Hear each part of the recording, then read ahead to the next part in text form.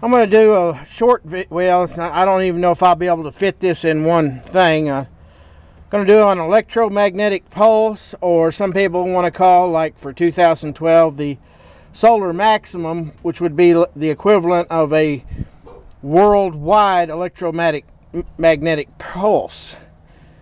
Now, basically, most of this I'm going to direct toward the solar maximum or a, a big electromagnetic storm hitting the earth because with that we would have a few hours notice.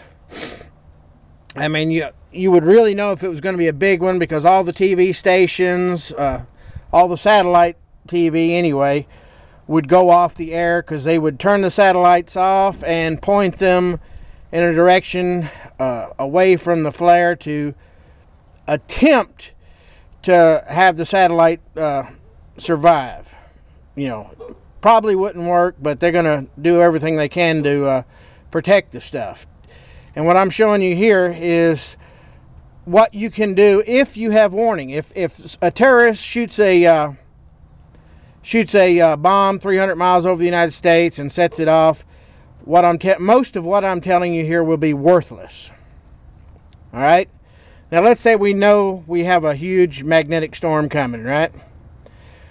Okay, I've got only got a few hours, so what I'm going to do is I'm going to come out to my cars and trucks and disconnect the batteries. I'm going to take the batteries and put it in one of those steel drums, like that burn barrel out there, and cover it up. And, uh, you know, in other words, it'll have a complete metal case around both my car batteries.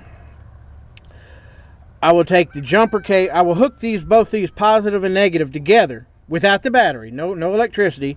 So everything is dead shorted out. And of course, the truck would be parked over by the uh, aluminum roof shed, if not in it. You know, that's that's an that's an extra layer thing because that whole building there is totally grounded. You have to remember the electricity, just like lightning, is generally going to take the shortest route to ground. That's what you count on in your shielding, is shortest route to ground. So now I've got both of these terminals uh, hooked together so everything in the truck is no longer negative and positive. Everything's, everything's shorted together, okay? Well, it's not shorted because there's no power to it, but everything's connected together. And then I would take the jumper cables from somewhere on the on the truck body, on the engine block, and the body of the truck and hook it to one of the posts that are driven into the ground. Perhaps one of these old rusty metal fence posts. Uh, hook them to that and make sure the truck, the whole shell, the shell of the truck is grounded straight to ground and there's no power running to nothing. Now this isn't a guarantee, but it will give it will definitely increase the odds of your vehicle surviving that kind of electromagnetic pulse okay? What I'll do next is uh, I'm trying to keep this short. Let me hurry up and get into the garage.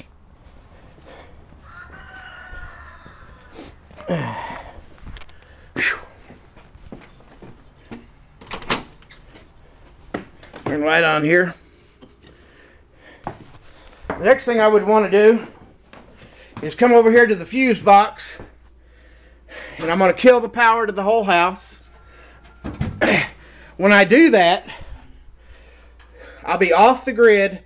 This, this breaker will pop out and then I will be able to hook two jumper cables, heavy duty jumper cables from everything in the house, from both of those phases, will go straight to ground. Uh, let me get my flashlight out here.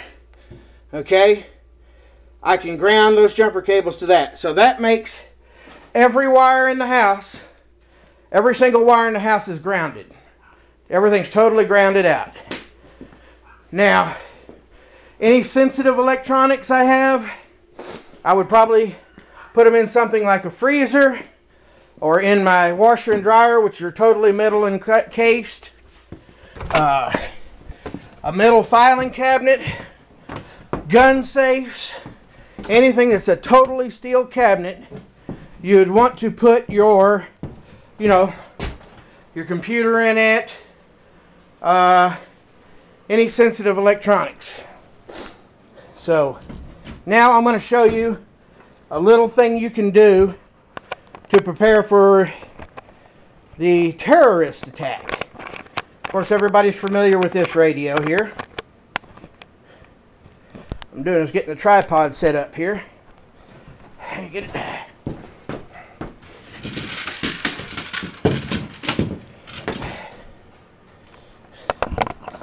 Hmm.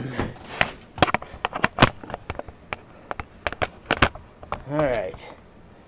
Let's see, that ought to be, I hope that's good enough. Okay, now this is something you can do ahead of time with your emergency electronics. Okay, this is the shortwave radio, and I like the shortwave because I don't want to hear just what our government's saying. I want to hear what other governments around the world are saying.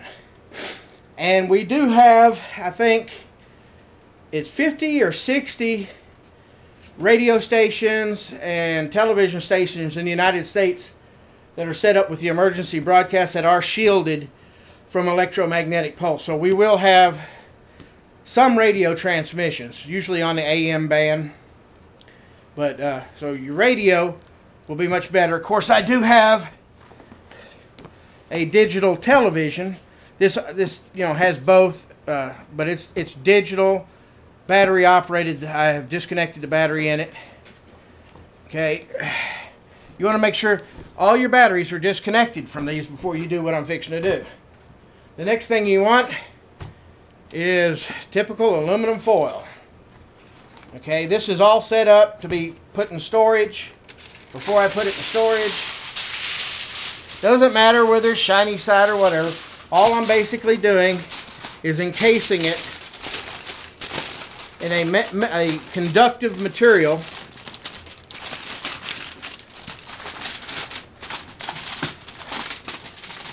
Uh, let's see. The heavy duty wrap works better because it doesn't break as easy.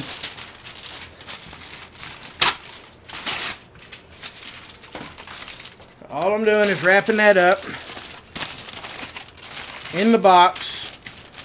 You know, the batteries are in the box and everything. Nothing's hooked up though. Everything's in there completely enclosed in aluminum foil Of course, you're going to get your magic marker and write on it what it is, because with that you won't be able to say. So I'll say uh, uh, Red Cross.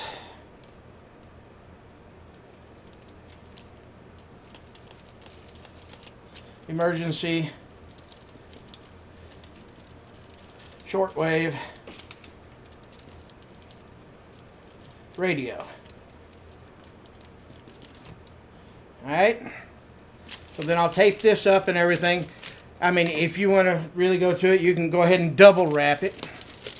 But that will give you basic uh, electrical statical protection to all those fine circuitry inside that radio. Same thing with the television. Uh, now, like I say, this is all. This right here, this is something you can do to prepare from even a terrorist EMP. This is something. Now your everyday electronics, uh, like if one went off right now, this little camera would be kapooey. Uh, my computer over there would be basically a big nothingness. But for the flares, you can prepare ahead. If you'll notice this desk, you see, I, I got to take you off the tripod. Everybody going to get seasick. This is an old 1950s steel desk. You know, there's radio in there As long as it's enclosed in that desk, I'm fairly safe from any type of electromagnetic pulse. They're not hooked to the grid or anything. Of course, I have surge protectors on all the wires. Uh, unless it's a real, real strong strike, I might get away with it because being that the desk is grounded and all like that, there, there's a possibility uh, that I've got surge protectors and uh, how would you say, uh, it's kind of isolated, wireless Wi-Fi, that I might, unless it's a real close EMP, I might get away with it.